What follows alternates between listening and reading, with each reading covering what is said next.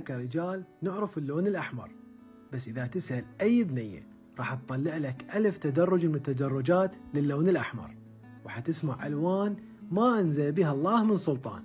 راح تقول لك ماروني راح تقول لك ناري سماقي برغندي.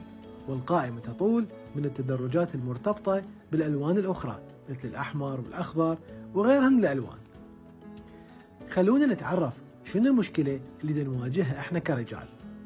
أحدث الدراسات بهالمجال تقول أنه للرجال فرصة أكبر بمعاناة التفرقة بين درجات الألوان. فمن بين كل 12 رجل أكو واحد مصاب بعمل ألوان. ومن بين 255 امرأة تكون وحدة مصابة بعمل ألوان. وأكو فئة من النساء يقدرون يميزون أكثر من 99 مليون لون مختلف. لهنا okay وصلت الفكرة.